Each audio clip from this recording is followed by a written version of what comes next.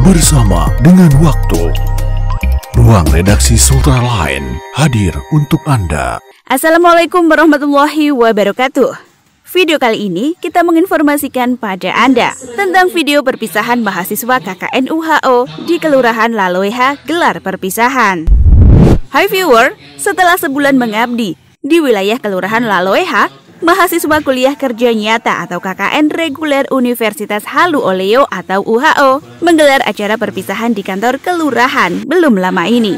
Adapun tema KKN kali ini yakni menanggulangi penyebaran virus corona atau COVID-19 serta keikutsertaan masyarakat dalam penyambutan bulan suci Ramadan di era new normal. Selama menjalankan pengabdian di Kelurahan Laloha, banyak sekali kegiatan-kegiatan positif yang mereka lakukan. Antara lain, kegiatannya membuat kebun kantor kelurahan, pembuatan baliho tentang pencegahan virus corona, pembagian masker, berperan aktif kegiatan selama Ramadan, dan pembuatan jalan di setiap lingkungan. Hai viewer, subscribe channel ini ya. Dan jangan lupa nyalakan loncengnya, like, dan komen. Semuanya itu gratis dan akan ada video-video terbaru tiap harinya untuk Anda. Terlihat dalam kegiatan dihadiri langsung lurah dan jajaran staf kelurahan serta seluruh peserta KKN yang berjumlah 20 orang. Lurah Laloeha Ahmad Priyani mengatakan, hadirnya mahasiswa KKN UHO sudah memberikan dampak positif di kelurahan dan masyarakat, khususnya dalam memutus mata rantai penyebaran COVID-19. Ia juga berpesan kepada mahasiswa, pembelajaran yang didapat di sini bisa dimanfaatkan ketika kembali ke kampus. Alhamdulillah dengan adanya mahasiswa adik-adik KKN dari Punhalu eh, sudah memberi warna dalam pelaksanaan kegiatan pemerintahan kami di Kelurahan Aleha dan banyak membantu eh, program-program mereka yang yang mereka laksanakan alhamdulillah ini sejalan dengan program kami terutama dalam hal eh, penanganan penyebaran eh, atau usaha untuk mem- memotong mata rantai penyebaran COVID-19.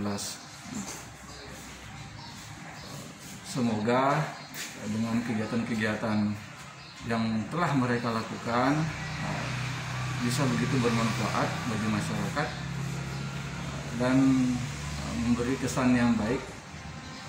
Saya juga berharapan, berharap dan berdoa semoga adik-adik KKN ini selama eh, bekerja di sini atau berpraktik di sini eh, bisa mendapatkan hal-hal positif eh, bagi pengembangan kualitas mereka khususnya ketika mereka bekerja di lapangan nanti. Sementara itu, koordinator desa mengucapkan terima kasih kepada masyarakat atas sambutan dan banyak membantu menjalankan dalam program KKN.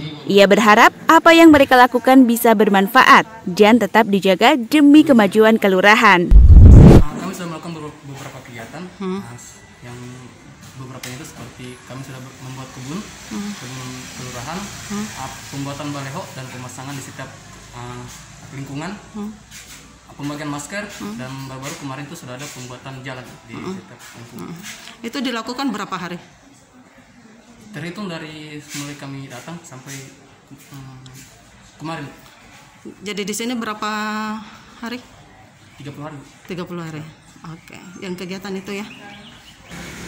Alhamdulillah sekali uh, yang saya rasakan rasa syukur bahagia ternyata walaupun kami dapatnya uh, tempat kakek itu di pusat kota tapi masih ada masyarakat yang betul-betul um, merasa Hmm, uh, kedatangan kami itu di sangat sangat di berharga ya. Ah, Oke, harapan Anda seperti apa nih?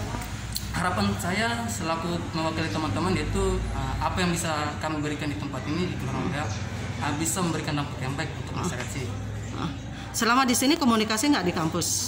komunikasi Rektor? Uh, oh, tetap Belum ya? Cari dari Belum. pendamping. Oh gitu ya.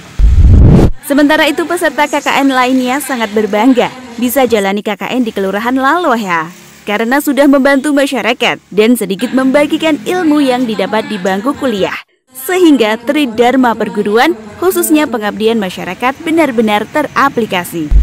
Seperti apa kedatangan Anda? Alhamdulillah positif tapi eh, beberapa masyarakat saja karena mungkin kita ikut Oke. Kalau Anda? Namanya sama? Ah, fakultas? Fakultas FK FK. Nah, kalau Anda kegiatannya apa di sana? sama sama mereka. Sama ya. Bantu ya. Anda lihat masyarakat responnya apa? Beberapa baik, beberapa juga karena kan di sini pejabat-pejabat jadi jarang ketemu sama kami. Nanti hari Sabtu Minggu baru ketemu sama kami. Oh gitu ya. Terus ada ada enggak eh, kesan pesannya untuk Kolaka? Em, ya untuk Kolaka ini eh, kami senang bisa datang di sini meskipun ini kota Hmm. eh, setidaknya kami eh, bisa diterima dengan baik Hmm. dan kita juga bisa pulang eh, meninggalkan jejak yang baik. Viewer setelah lain, terima kasih sudah menyaksikan video kami hari ini. Dukung channel kami ya. Caranya bagikan video ini ke kontak yang ada di HP viewer. Terima kasih sudah ikut mendukung channel kami. Dari Kompleks Blok M BD Kendari, jurnalis Sutra Lensri mengabarkan untuk Anda.